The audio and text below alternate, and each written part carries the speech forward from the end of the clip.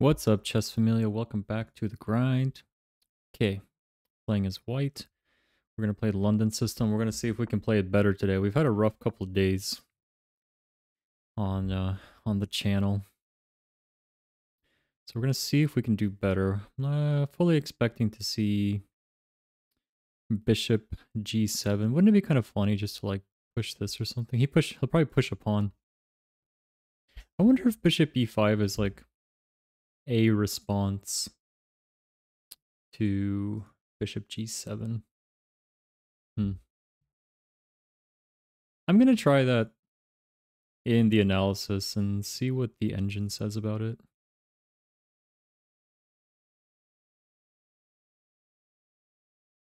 I know he could push a...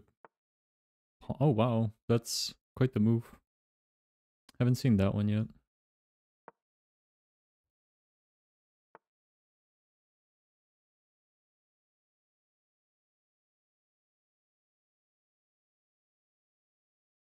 I'm almost tempted to just start trading off here. Isn't it good? I basically have three... Well, I would essentially have like one more attacker than he has defender, if that makes sense. Hmm. Boom. Boom.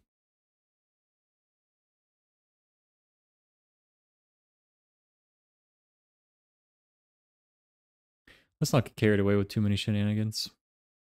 It's really tempting, but I'm going to try to play soundly and principledly. Well, his light square bishop is going to have a really hard time. Okay. Um, I'm actually fine to go like 95 here at this point. Even if we trade off, I can just push the pawn or Push, put the bishop in the place here. Uh, it's so tempting, but I just want to develop the pieces at the same time. I don't know, it just seems like such a good time to do this if there's ever been a time.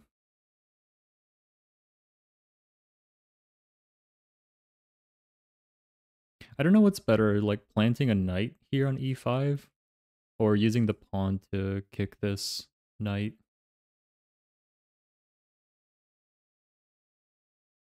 I'm just going to play h3 in case he does some funny business on h5 here with his knight. I know that move might look a little weird, considering I still need to push knight d2 and pawn c3. But I'm going to go for it. See, like his queen and his bishop are like very locked in here.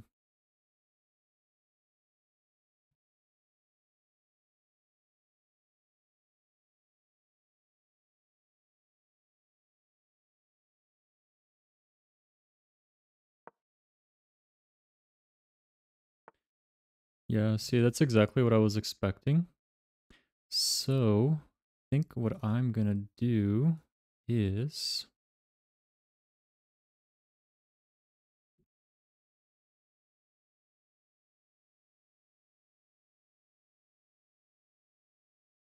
wonder what's better here. wonder if it's better to fall back or just start offering the trade here. The knight's in a really bad spot.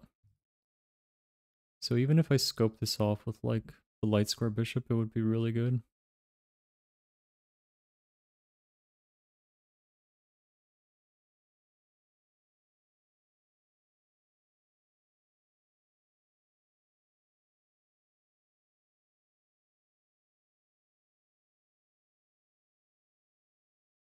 I think I'm going to put the dark square bishop on e5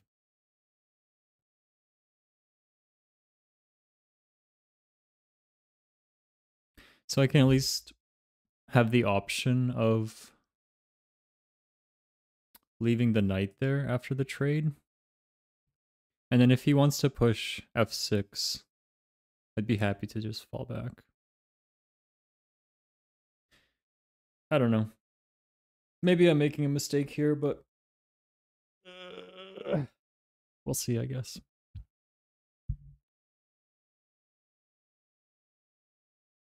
If he wants to push f6 and just not trade, I'm actually happy to fall back. Yeah, so this is good. I'm really tempted to just take with the pawn here. Tempted to take with the pawn.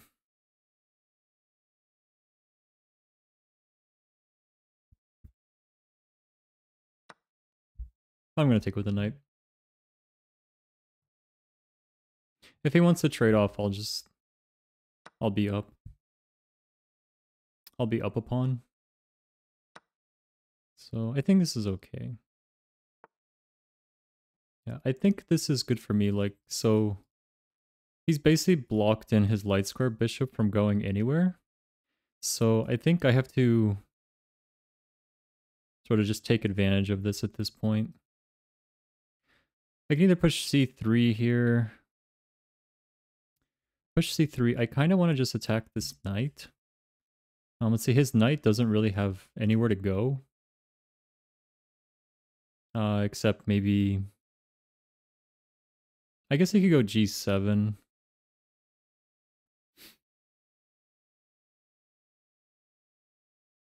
Maybe I should go queen f3 here at this point.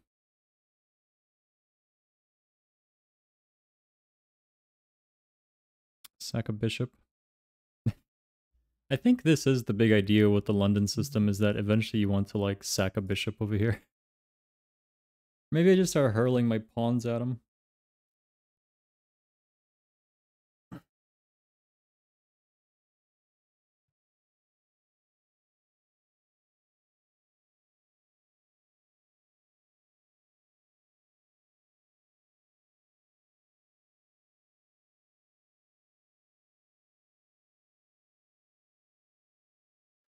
I'm going to play knight f3. It seems okay. I think eventually the goal is that I can work my knight onto g5 at some point.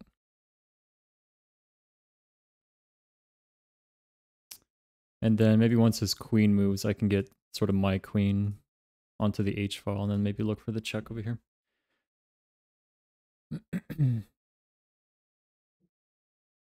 I'm really tempted to just go for the sack.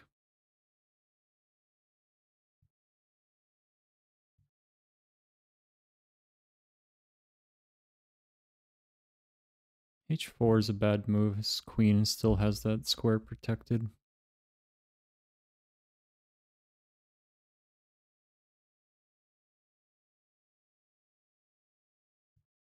And g4 is like a really tempting move. But he still has the g7 square to fall back to.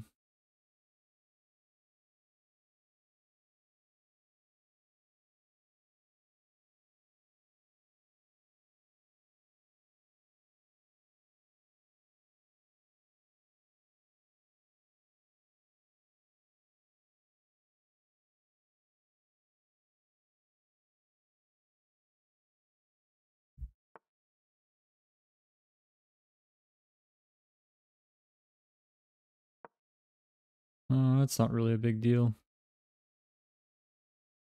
can just fall back here.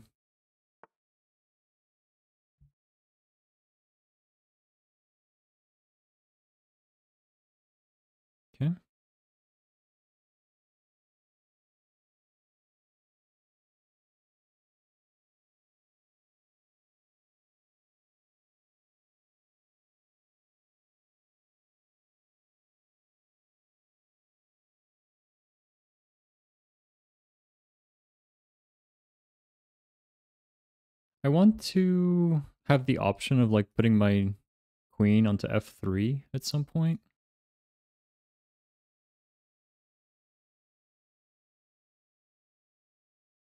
Hmm. Maybe d4 is like a decent square for the knight.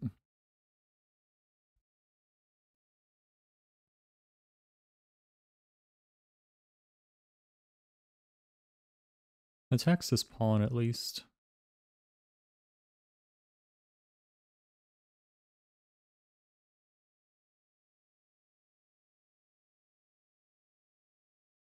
Man, getting the knight onto what is that, F6 would be like really sick. Hmm.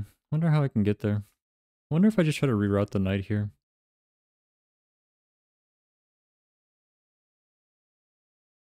That would be a really sick square. That would be very, very sick. I don't want to allow his queen to get onto h4, though. It's really tempting, but... Yeah, I don't know. I like that this is stopping queen h4. I'm just going to connect the rooks here. Mm. I think I'll connect the rooks and then just point one at his queen. And the opponent's using like no time whatsoever.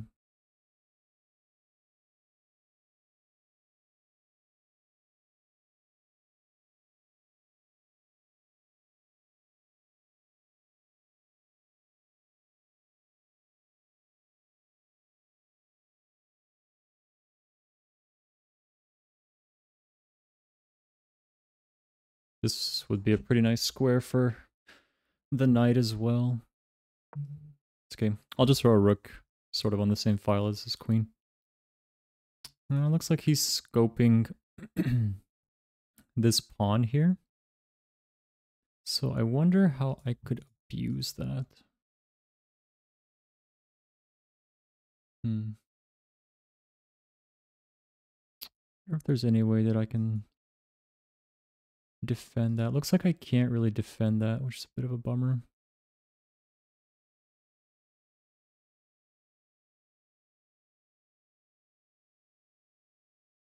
Uh, well, just kidding. Knight f3 is already defending that. What am I saying? Duh.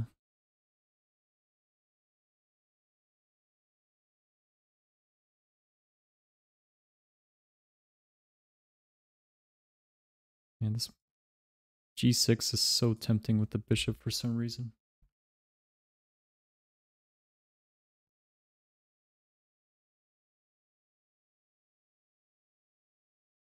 Yeah, I have to keep the defender here. Hmm. I could try to break the tip of his pawn chain here. I like having the bishop on this square, though. Almost blundered my queen there.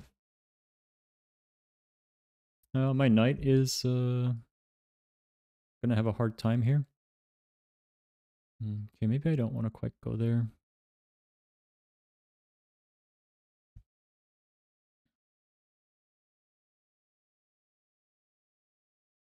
Hmm. Yeah, this is not really a great square, huh?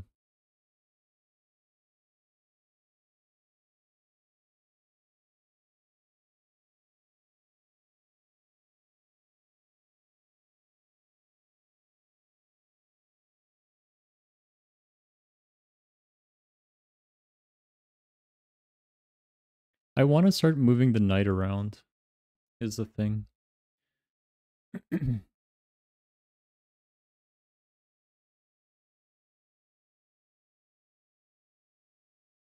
this might look a little bit silly, but I want something to protect this pawn because I feel like it's pretty valuable. Because uh, it seems like it's very valuable at this point to be able to get one of my pieces onto f6 here, or even just exchange a piece. So like even if I went like knight h2, knight g4, knight f6, even if he takes with his knight, I can just push a pawn and then look for the mate on that square on g7. I don't know, just an idea.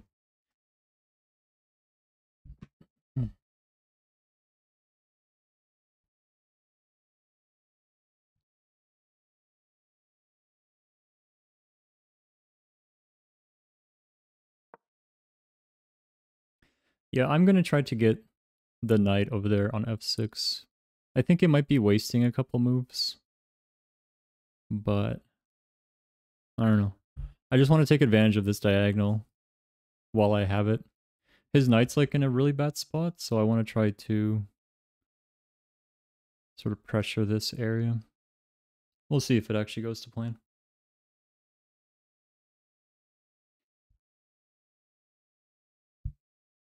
Basically just trying to punish him for sort of locking his bishop in back here. I don't know how much I really care about this pawn at this point.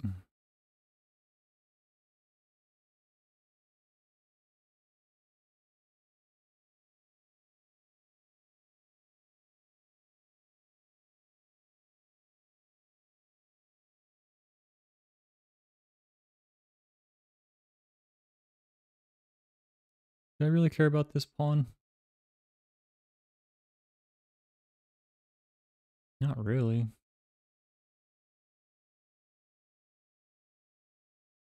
I'd rather go for the check on that.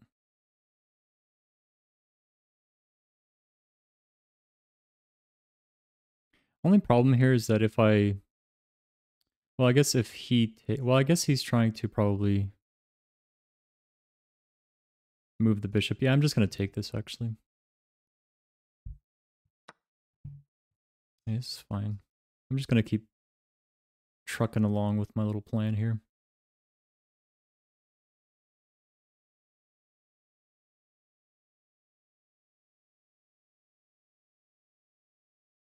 If he takes with the knight, I'll actually be pretty happy.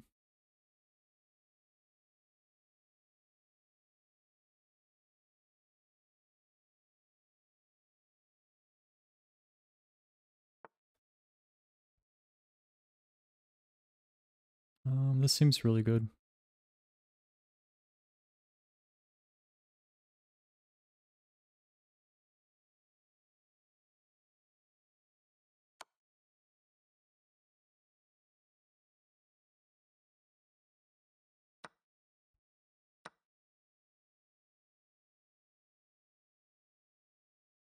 He's gonna have to move his queen. Yeah, I'm basically threatening sort of mate with the queen on this square here. Only tricky part about this now is that I basically have to protect this pawn at all cost. so...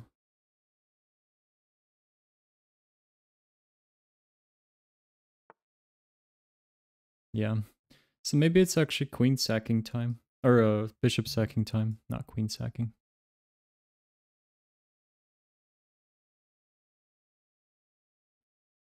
Yeah, what's great about this is that he can't attack this pawn with anything. Um, he just has nothing to attack it with. His king can't attack it. Uh, his uh, queen can't attack it, otherwise she just dies. So I'm just going to look for the mate here. If he pushes his pawn, I just take. I think this is kind of like... I guess his only thing he can do is push the pawn up. So maybe I should have uh, sacked the bishop here. Yeah, I'm pretty sure he just has to play h5 here.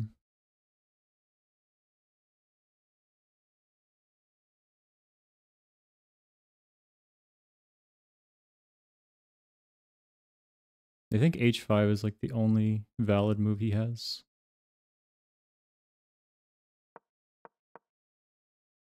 I think what I should have done instead was played f4. Oh. Ah. Yeah, I think he kind of blundered that. So this should just be mate. Yeah. He doesn't have any way to protect this. So yeah. I know he has a sort of mate in one on the next move after he pushes d4, but I just got to it faster, fortunately. Yeah, he had to play h5 there. I think that was his only valid move.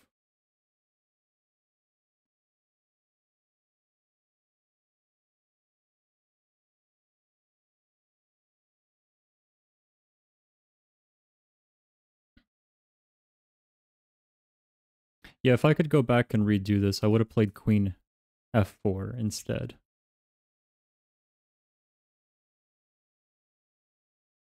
Yeah, I would have played queen f4. I think that would have been better. Yeah, so there was the mate there. Yeah, he had, had no way to get, get out of that. GG, Star Gamer X. Appreciate you. Let me just go look at this position real quick. Uh, I want to see what the engine says about uh, what he needed to play here. So queen e7. I see. Yeah, it's it's funny. The the engine is basically telling him to sack his queen here. uh, as crazy as that is, I can't believe the engine's actually recommending that. That's that's pretty wild. Queen e7. So why couldn't he, he play h5 here? Queen g5? Oh, sure. Sure, sure. So yeah, even then he he really can't do anything. Well, couldn't he play like uh his king over here? Or no, because that's well couldn't he play h7? Oh, sure, this pawn is pinned. Oh, wow. Yeah, yeah, yeah. Oh, yeah, yeah, yeah. I didn't even think about that. Yeah, yeah. Makes sense. Okay, well, let's look at this game from the top. Okay, d4, good move. You guys will be really proud of me. I didn't throw away my advantages this game. Makes me feel better about the last two days worth of games. There goes the engine recommending c4. I think with the London system, I've decided I'm just not going to play c4 under all circumstances, and I'm just always going to play c3. I think c4 is like such a situational move, and it's kind of a move that's above my pay grade at this point. And I feel like c3 is just safer because every time I've lost to the London system, it's always been with some piece on b4 or b2. And I feel like this c3 is just so much safer because it prevents any piece from harassing b4 like yesterday when I got that really nasty pin with the bishop on d4 and my queen was protecting d2 it was um yeah it's just it just seems like it's a common theme. Oh yeah i was really curious about this position at or no no no where was i? Where was i? Here i was thinking about just trading these pieces off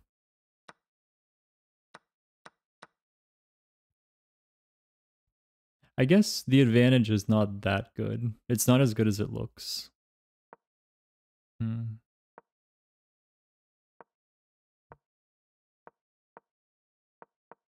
Oh yeah, so what if I played bishop e5 here?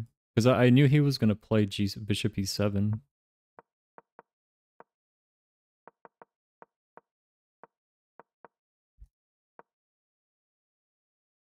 This actually gives him a slight advantage. Oh, so knight f6. Wow, he actually has the advantage here. Hmm, even with this super messy structure. Yeah, I guess he still could put his bishop back there. And then the doubled f-pawns are not that big of a deal.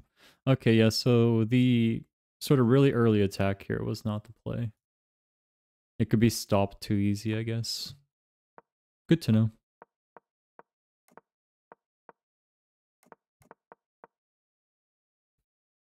H3 might have been a, a waste of a move. I thought he was potentially going to try to uh, play uh, knight h5 next. This knight just didn't really seem that great here since it removed a defender from e5. So I thought he was going to look for the early h5. So Yeah. Which I think he did end up doing, right? Yeah, he did end up playing h5. Okay, and then falling back here, yeah. So I was debating between falling back into the hidey hole or just trading off here. Doesn't hurt me, but it doesn't help me either.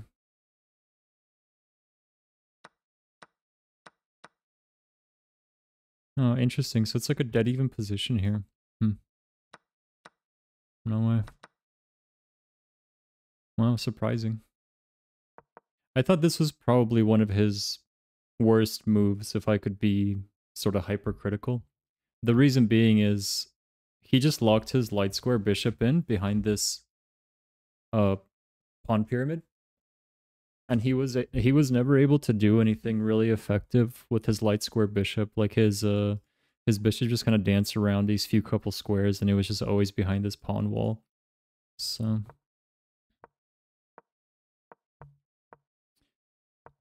And yeah, same here. I mean, he's sort of opened up a diagonal for his light square bishop here, but then he closed it in with the pawn. so I'm not trying to make fun of him or give him a hard time. I'm just trying to look at the position sort of critically and just think about sort of the principles of developing pieces and letting the minor pieces breathe and not locking them in.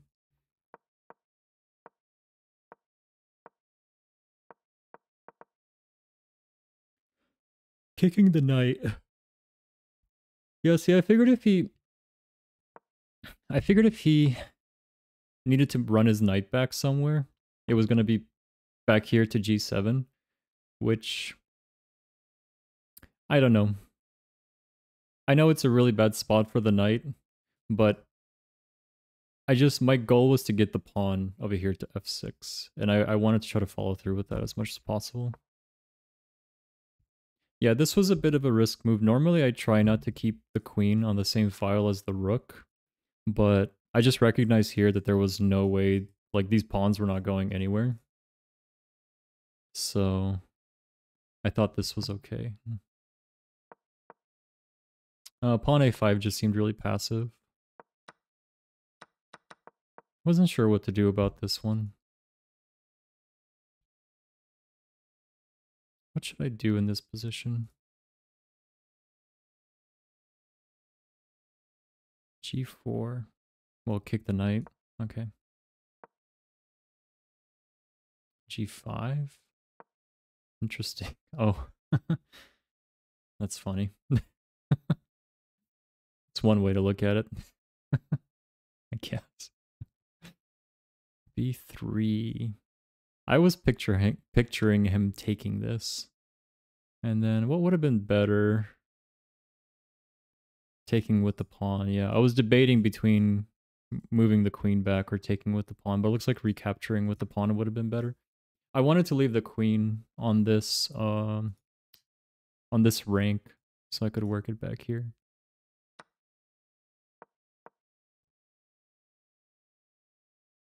It's not a mistake, but it's not the best move. You made a great outpost for your knight. Yeah, this move was really satisfying. It was a bit risk moving the knight around so much. I mean, it basically took, what, one, two, three moves to get the knight out of here. But it just seemed like such a powerful square for the knight. And even better yet, for the pawn.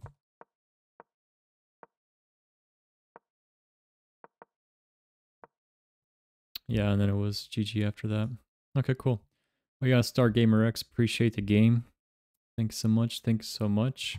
And uh, I feel a lot better today, actually finding some decent moves and not blundering anything super hard. Uh, yesterday kind of took a toll on my mental chess, willpower, strength, stamina thing.